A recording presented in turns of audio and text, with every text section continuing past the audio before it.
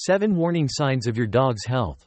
Diagnosing and detecting whether a dog or any pet has a fever is not simple.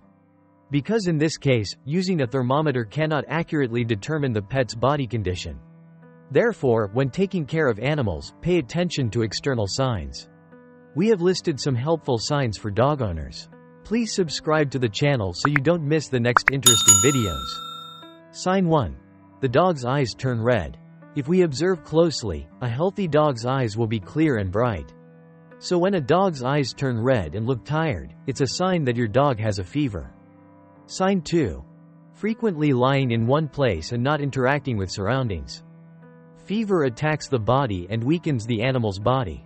Dogs tend to be hyperactive, often moving around the house and always trying to find ways to interact with other pets in the house or their owners. So if dogs look moody, tired and less communicative or interactive, that is a symptom that they are sick. Sign 3. Dog loses appetite. In addition to signs of fatigue, loss of appetite is one of the most common and alarming signs showing abnormal health conditions in dogs. If your dog never touches its favorite food, it is definitely sick. Sign 4. The dog's ears and nose become hot. One of the hottest places on a dog's body is the nose. A healthy dog's nose will be clean and moist. A nose that is too hot or dry is a symptom of a dog having a fever. Also try checking your dog's ears to determine. If both the ears and nose are hotter than the rest of the body's temperature, your dog is likely sick. Sign 5. Dog trembling. Dogs tend to tremble in stressful and anxious situations, for example when there are many strangers in the house.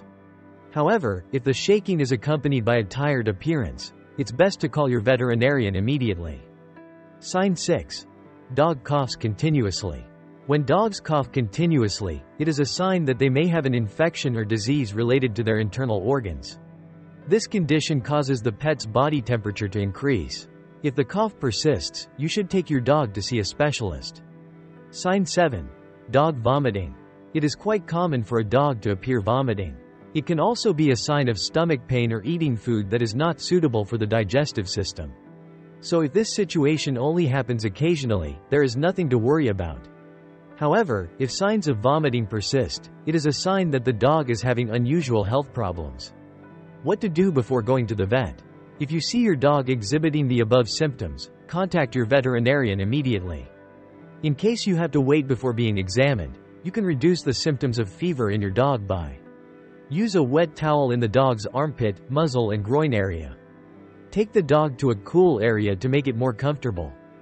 Give your dog cold water to lower its body temperature. Through this video, surely you know how to distinguish the signs that your dog is sick, right? Please subscribe to the channel to discover more interesting information about the pet world.